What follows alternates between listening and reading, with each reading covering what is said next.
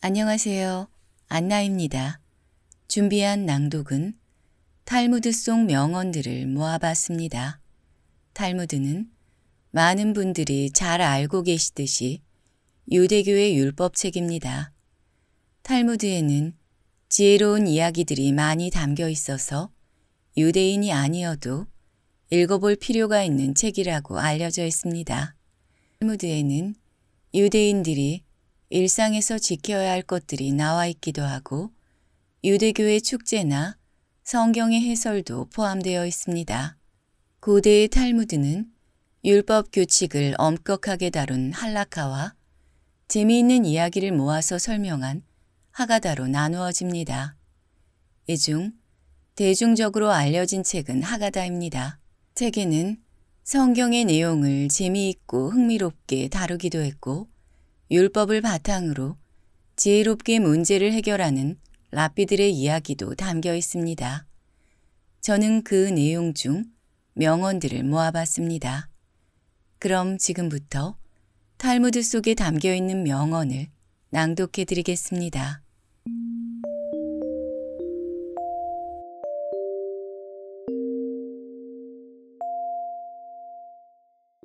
탈무드 명언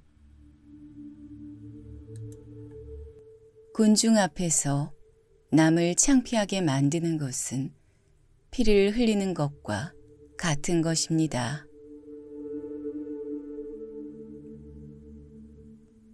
그 사람 입장에 서기 전에는 절대로 그 사람을 욕하거나 책망하지 말아야 합니다.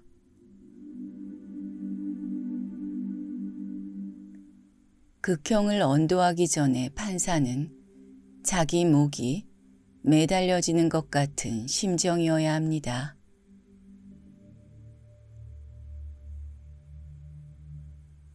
고양이로부터 겸허함을 배울 수가 있으며 개미로부터 정직함을 배울 수가 있고 비둘기로부터 정절을 배울 수가 있으며 수탈그로부터는 재산의 권리를 배울 수가 있습니다. 고양이와 쥐는 먹이가 된 동물을 함께 먹고 있을 때에는 다투지 않습니다.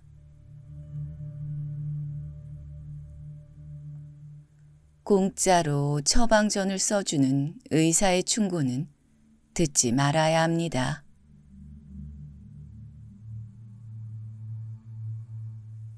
기도를 통하여 우리는 신에 대한 그리고 다른 사람에 대한 자세와 태도 또한 마땅히 해야 할 일이 무엇인가를 명확히 알 수 있습니다.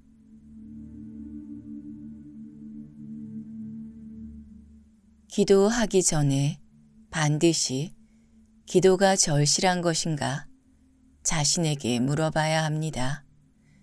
그렇지 않으면 기도하지 마십시오. 습관적인 기도는 참되지 못하기 때문입니다. 가난한 집안의 아들은 찬미받을 것입니다. 인류에게 예지를 가져다 주는 것은 그들입니다.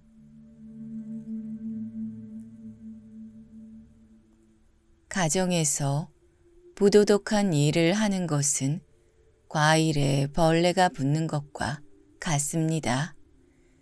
알지 못하는 사이에 퍼져나가기 때문입니다.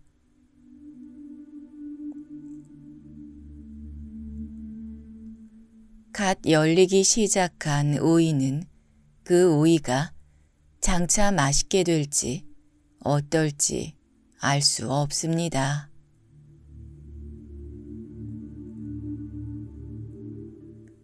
강한 사람이란 자기를 억누를 수 있는 사람과 적을 벗으로 바꿀 수 있는 사람입니다.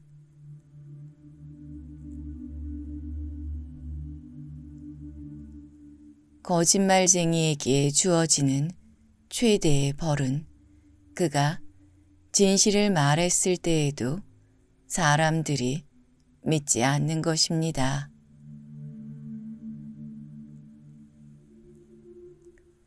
껍질만 보지 마십시오. 그 안에 들어있는 것을 보십시오.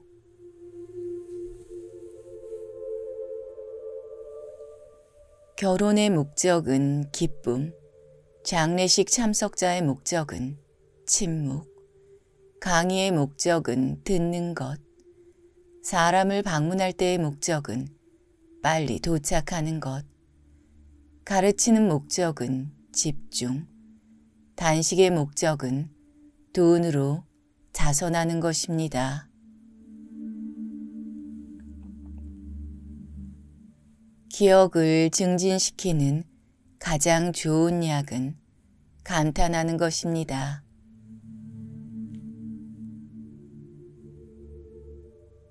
나는 스승에게 많은 것을 배웠고 친구에게서 많은 것을 배웠고 심지어 제자들에게서도 많이 배웠습니다.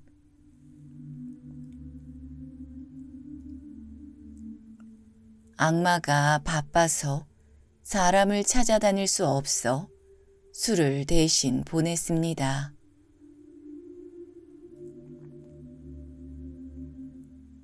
인간은 남의 하찮은 피부병은 금방 알아차려도 자신의 죽을 병은 깨닫지 못합니다.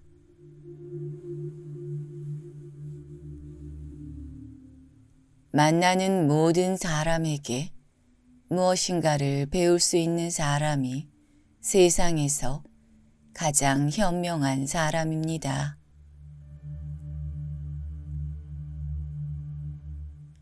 물고기가 입으로 낚싯바늘을 물어잡히듯 인간 또한 언제나 그 입이 문제입니다.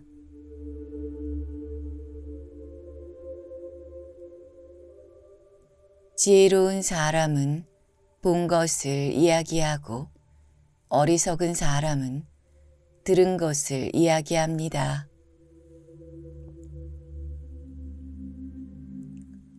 강한 사람이란 자기를 억누를 수 있는 사람과 적을 벗으로 바꿀 수 있는 사람입니다.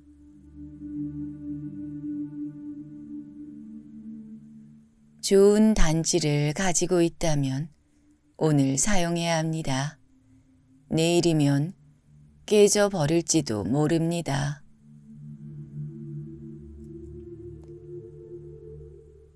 명예는 많은 재산보다 소중하고 존경받는 것은 금은보다 값집니다.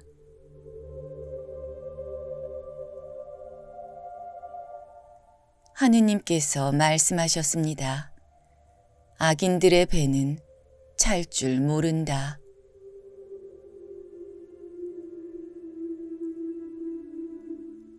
돈에 대한 탐욕은 영혼을 썩게 합니다.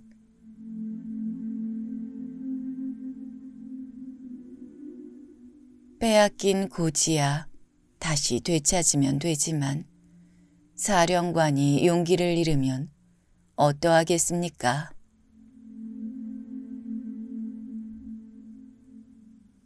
내 아버지와 어머니를 공경해야 합니다.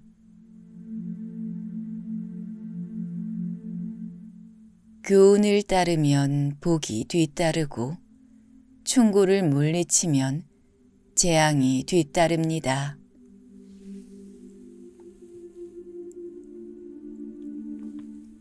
책을 읽고 깊이 있게 생각하지 않는다면 당나귀가 책을 싣고 길을 걷는 것과 다를 바 없습니다.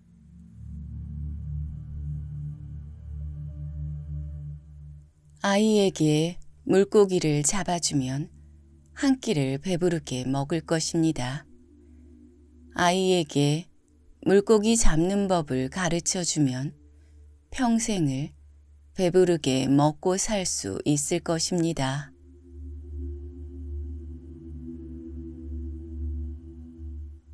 나무는 그 열매에 의해서 알려지고 사람은 일에 의해서 평가됩니다.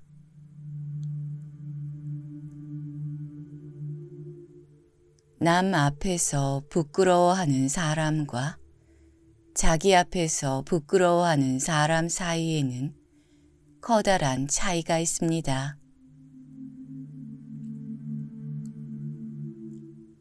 술이 입에 들어가면 비밀이 밖으로 밀려나갑니다.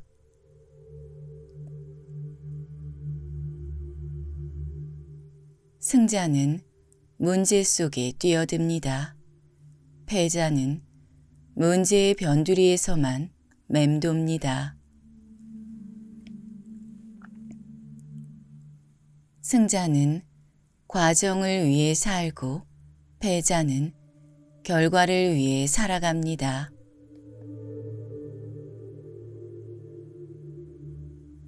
승자가 즐겨 쓰는 말은 다시 한번 해보자이고 패자가 즐겨 쓰는 말은 해봐야 별 수 없다 입니다.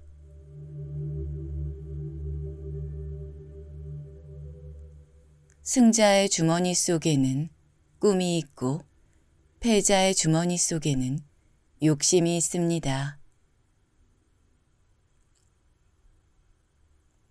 승자는 눈을 밟아 길을 만들지만 패자는 눈이 녹기를 기다립니다.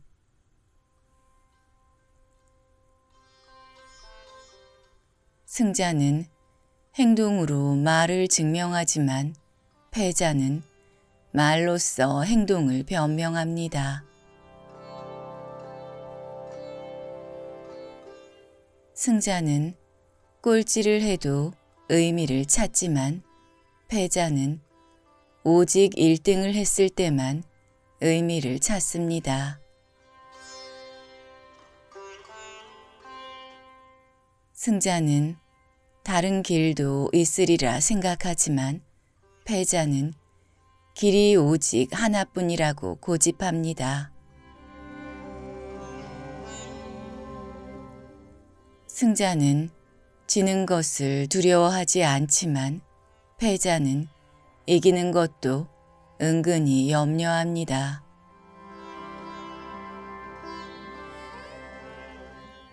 승자의 하루는 25시간이고 패자의 하루는 23시간밖에 안 됩니다.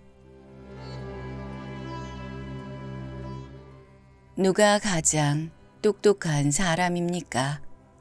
모든 경우 모든 사물에서 무엇인가를 배울 줄 아는 사람이 똑똑한 사람입니다. 누가 굳센 사람입니까? 자기 자신을 누를 수 있는 사람이 굳센 사람입니다. 누가 가장 풍족한 사람입니까? 자기 자신의 몫에 불만 없이 만족하는 사람이 풍족한 사람입니다.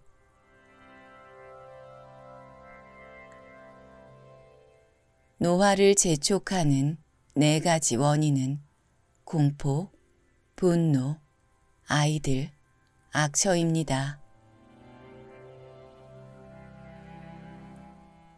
누가 현자입니까?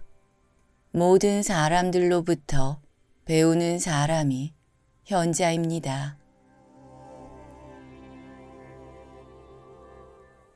눈이 보이지 않는 것보다는 마음이 보이지 않는 쪽이 더 두렵습니다.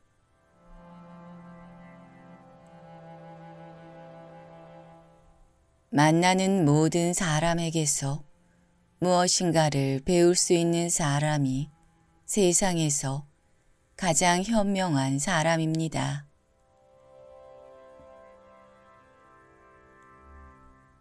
다른 사람들보다 뛰어난 사람은 악의 충동도 그만큼 강합니다.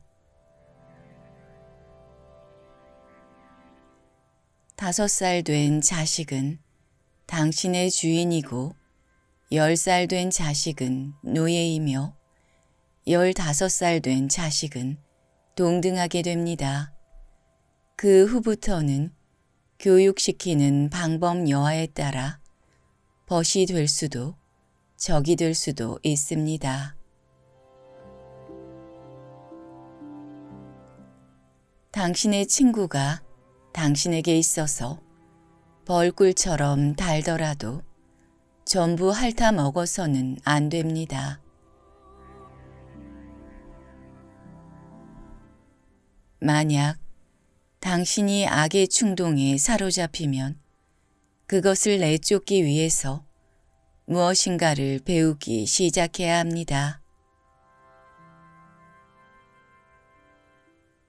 만약 친구가 야채를 갖고 있으면 고기를 주어야 합니다.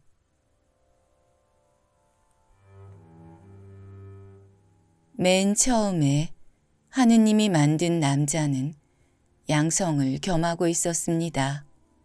그러므로 남자 중에도 여성 호르몬이 있고 여성 중에도 남성 호르몬이 있습니다.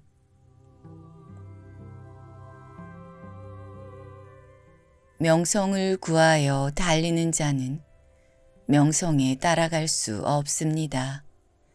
그러나 명성에서 도망쳐 달리는 자는 명성에 붙잡힙니다.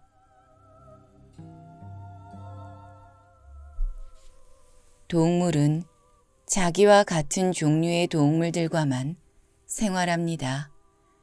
늑대가 양과 섞일 리는 없고 하이에나가 개와 섞일 수가 있습니까? 부자와 가난뱅이도 그와 마찬가지입니다.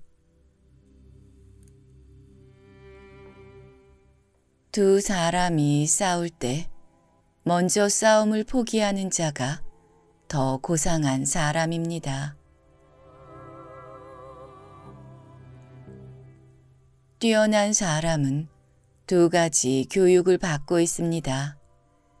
그 하나는 교사로부터 받는 교육이고 다른 하나는 자기 자신으로부터 받는 교육입니다.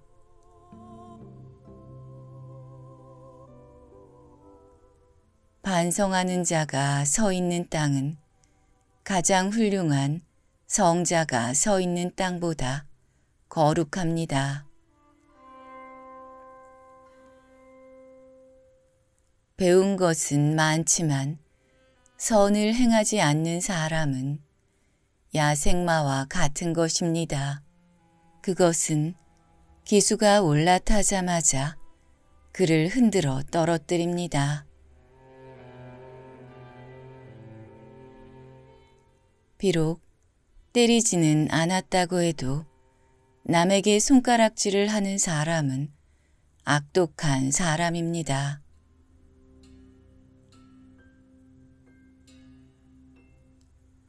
비싼 진주가 없어지면 이것을 찾기 위해 별다른 값어치도 없는 촛불이 사용됩니다.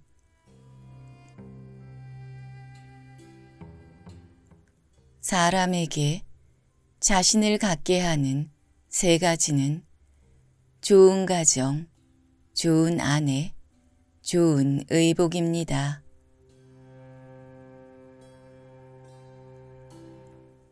사람에게 세 가지 이름이 있습니다. 양친이 태어났을 때 붙여주는 이름, 친구들이 우애의 정을 담아 부르는 이름, 그리고 자기 생애가 끝났을 때 획득하는 명성입니다. 사람을 상처 입히는 것이 세 가지 있습니다. 범민, 말다툼, 텅 빈 지갑. 그 중에서 텅 빈 지갑이 가장 크게 사람을 상처 입힙니다.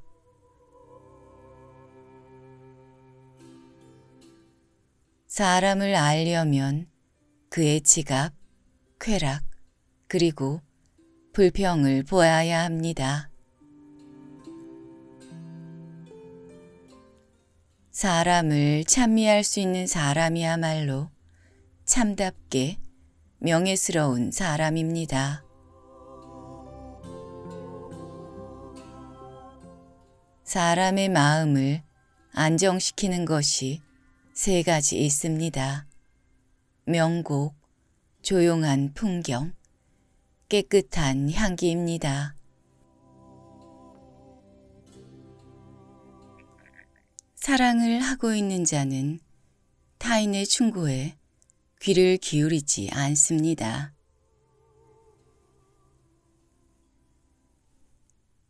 모든 병 중에 마음의 병만큼 괴로운 것은 없습니다. 모든 악 중에서 악처만큼 나쁜 것은 없습니다.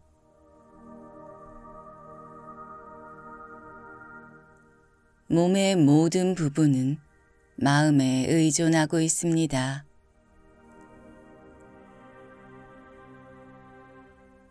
물건을 훔치지 않은 도둑은 자기를 정직하다고 생각합니다.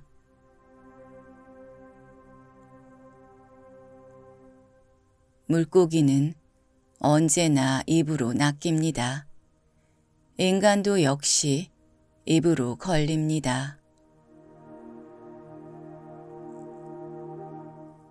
물이란 본디 산 정상에 머물지 않고 계곡을 따라 흘러가는 법입니다.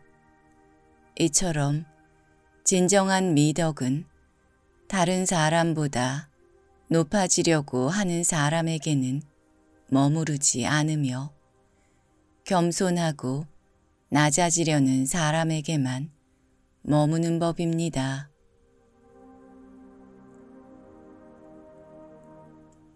부부가 진정으로 서로 사랑하고 있으면 칼날 폭만큼의 침대에서도 잠잘 수 있지만 서로 반목하기 시작하면 10미터나 폭이 넓은 침대로도 좁아집니다.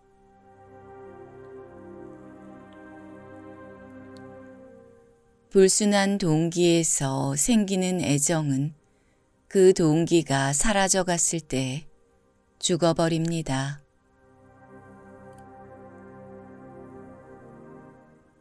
불타고 있는 장작에 물을 뿌리면 속까지 차갑게 되지만 중상으로 노하고 있는 사람에게는 사죄해도 마음속의 불은 끌 수가 없습니다.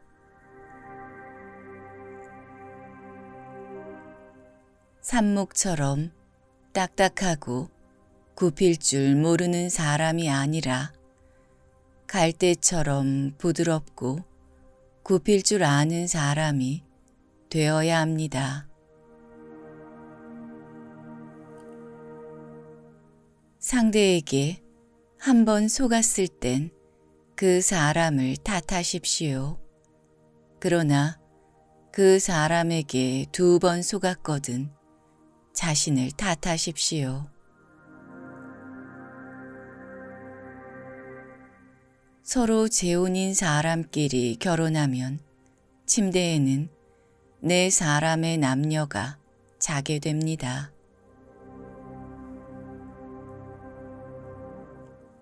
성품이 나쁜 사나이는 이웃 사람의 수입에 마음을 쓰면서 자기의 낭비에는 마음을 쓰지 않습니다.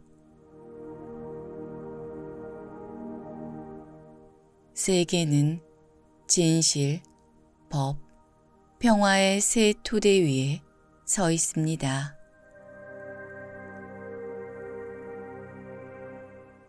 세계에는 올바른 일만 하는 사람은 있을 수 없습니다. 반드시 나쁜 일도 하는 사람이 있습니다. 세상 무엇과도 바꿀 수 없는 것이 있습니다. 그것은 젊을 때 결혼하여 살아온 늙은 마누라입니다. 세상에는 너무 지나치게 쓰면 안 되는 것이 세 가지 있습니다. 그것은 빵의 이스트, 소금, 망설임입니다.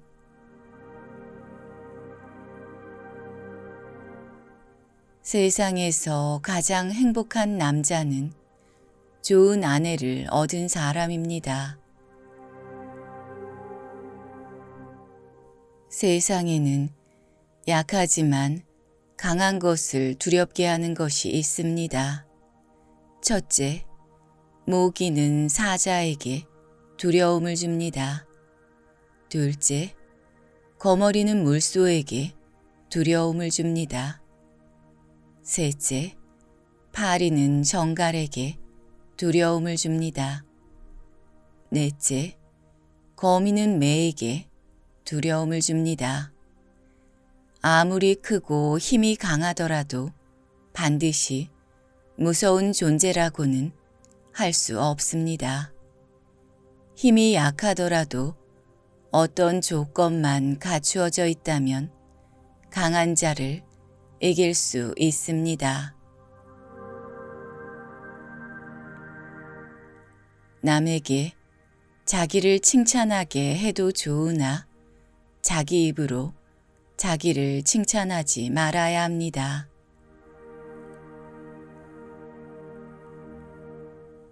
남을 헐뜯는 가십은 살인보다도 위험합니다. 살인은 한 사람밖에 죽이지 않으나 가십은 반드시 세 사람의 인간을 죽입니다.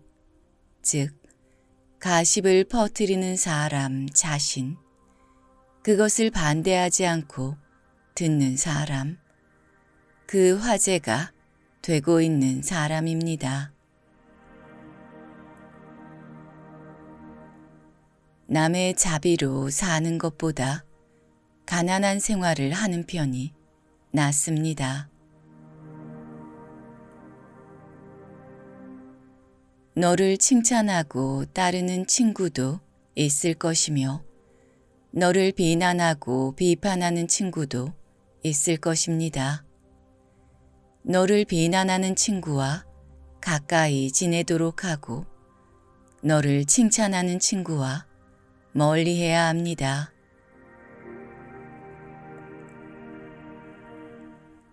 손가락이 자유롭게 움직이는 것은 가십을 듣지 않기 위해서입니다. 가십이 들리면 얼른 귀를 막아야 합니다. 사람에게 하나의 입과 두 개의 귀가 있는 것은 말하기보다 듣기를 두 배로 하라는 뜻입니다. 결점이 없는 친구를 사귀려고 한다면 평생 친구를 가질 수 없을 것입니다. 자기 아이에게 육체적 노동을 가르치지 않는 것은 약탈과 강도를 가르치는 것과 마찬가지입니다. 승자는 눈을 밟아 길을 만들지만 패자는 눈이 녹기를 기다립니다.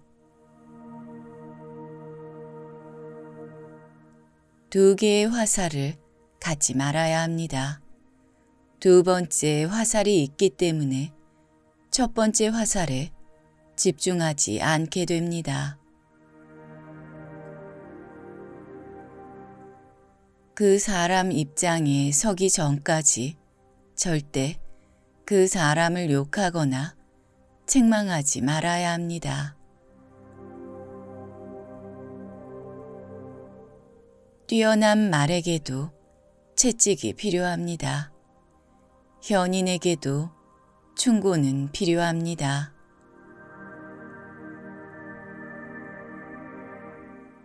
눈이 보이지 않는 것보다 마음이 보이지 않는 쪽이 더 두렵습니다. 가능한 옷을 잘 입어야 합니다. 외모는 생각보다 훨씬 중요합니다. 자신보다 현명한 사람 앞에서는 침묵해야 합니다.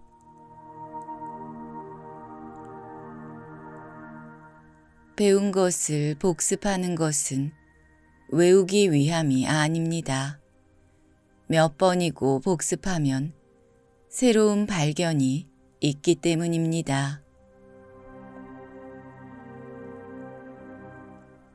먼저 해야 할 일부터 손을 대고 뒤로 미룰 수 있는 것은 마지막에 가서 하십시오.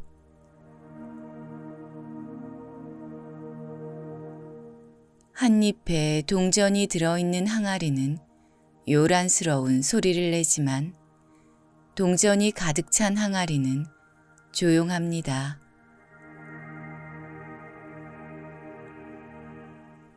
당신의 혀에게 나는 잘 모릅니다. 라는 말을 열심히 가르쳐야 합니다.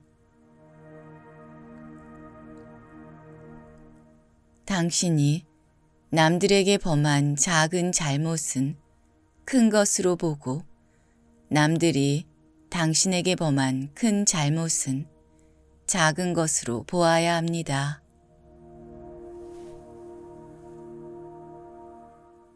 돈은 사업을 위해 쓰여야 할 것이며 술을 위해 쓰여야 할 것은 아닙니다. 돈은 악이 아니며 저주도 아닙니다. 돈은 사람을 축복하는 것입니다.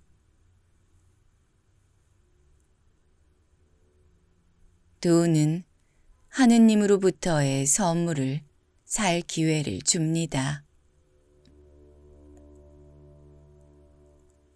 돈을 빌려준 사람에 대해서는 화를 참아야만 합니다.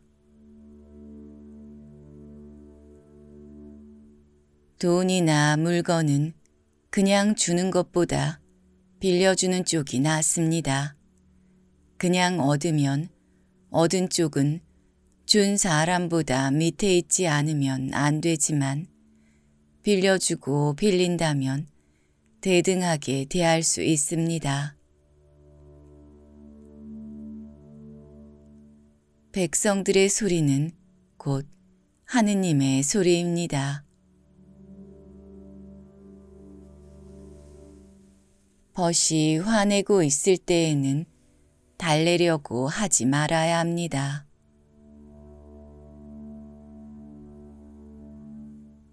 부귀는 요새이며 빙고는 폐어입니다.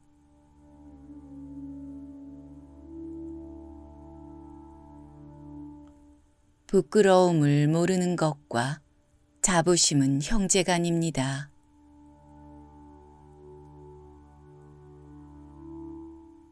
아이에게 무언가를 약속하고 지키지 않는 것은 아이에게 거짓말을 가르치고 있는 것입니다. 인내심 없이는 절대 남을 가르칠 수 없습니다. 슬기로운 자와 벗하면 자연이 현명해지고 어리석은 자와 벗하면 기필코 해를 입습니다.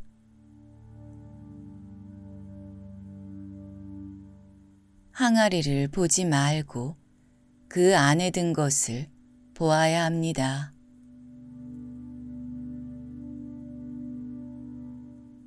지혜로운 사람은 이 세상에 밝은 빛을 뿌립니다.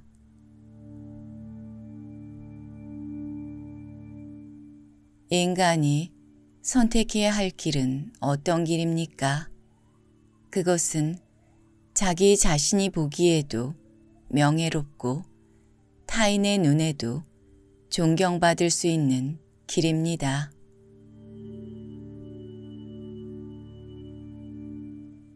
선을 행할 때는 그것이 초래하는 어려움과 그것이 가져다 줄 행복을 함께 저울에 올려보고 악을 행할 때는 일시적인 쾌락이 주는 즐거움과 그것에 뒤따를 불행을 함께 저울에 올려보아야 합니다. 운동이 건강한 몸을 위한 약속이라면 독서는 건강한 정신을 위한 양식입니다.